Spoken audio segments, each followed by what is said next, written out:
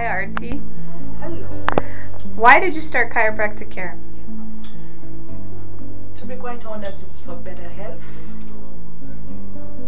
And what's changed since you started chiropractic care? Um, I used to suffer with migraine, and from the time I began, I have not had migraine. Praise God for that. Amen. Thank you for sharing.